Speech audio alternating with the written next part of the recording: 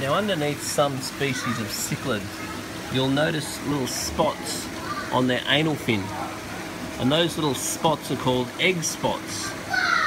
And in some species of cichlids, the larger, more dominant egg spots indicate that it's the fish is more likely to be a male. And what they use the egg spots for is when the fish are breeding, the male who will have a territory will lure the female into his territory and then will lay the egg spots down to show the female the best place to lay the eggs before she um, picks them up in her mouth after he's fertilized them or some of them fertilize the eggs in the mouth.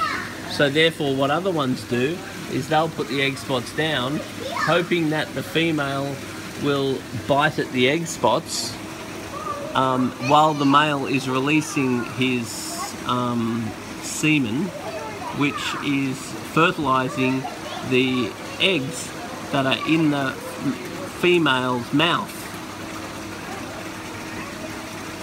Anyway, they've got some pretty interesting behaviors there. So anyway, if you've ever wondered what the oh these these this looks like two male cichlids in the back that are going through a breeding pattern with each other. A couple of gay cichlids there, a couple of gay venustas.